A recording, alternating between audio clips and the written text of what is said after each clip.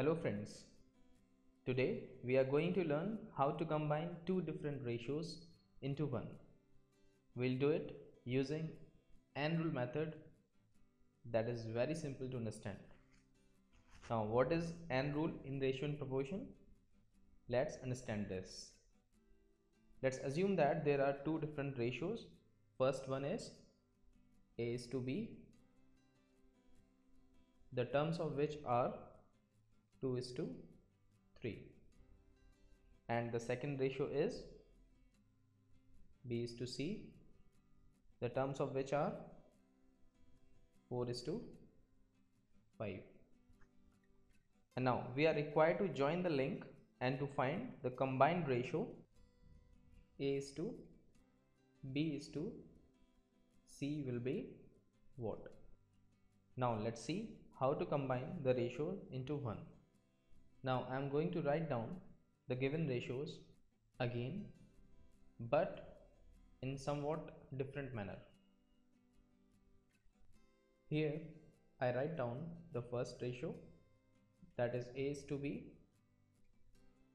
given as 2 is to 3 and the second ratio that is B is to C given as 4 is to 5 here you can see that while writing the ratios down we have placed the antecedent of the second ratio that is b under the consequent of the first ratio that is again given as b here. So before applying the rule make sure that the common term is in alignment. Now let's multiply the antecedent of the first ratio by the antecedent of the second ratio.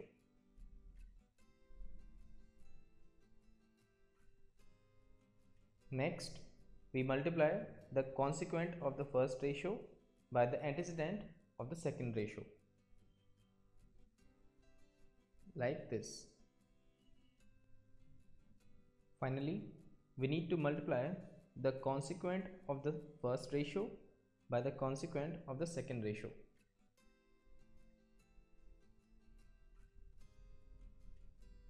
Like this. And the final ratio we get here is 2 into 4 8 3 into 4 12 then 3 into 5 15 you need to make sure here that the final ratio must be in simplest form. So wasn't it simple? I hope you have understood the rule well. Now let me give you another example for your practice. In a question, first ratio is given as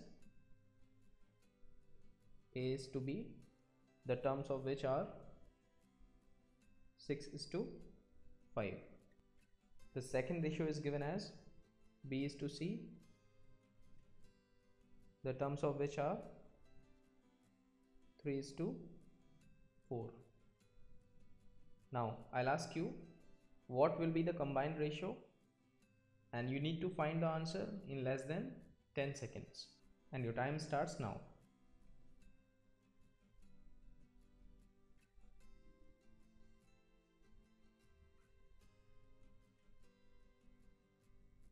And time is up. I hope you got the right answer. I'll now solve it for you. And I ask you to check whether you got it right or not so what we'll do here we'll multiply the antecedent of the first ratio by the antecedent the second ratio. Next we'll multiply the consequent of the first ratio by the antecedent of the second ratio. And finally we will multiply the consequent of the first ratio by the consequent of the second ratio and we'll get the combined ratio a is to b is to c as 6 into 3 18 then 5 into 3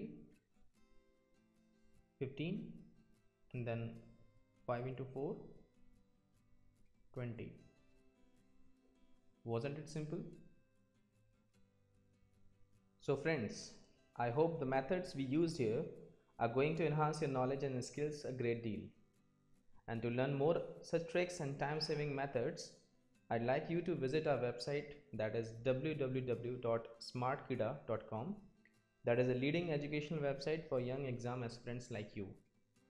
And we are also pleased to inform you that smartkeeda.com is going to be relaunched in the month of March 2015 with some really smart features.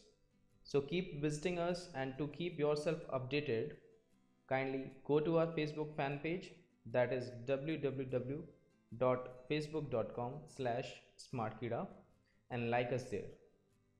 So keep learning and be intelligent. Thank you.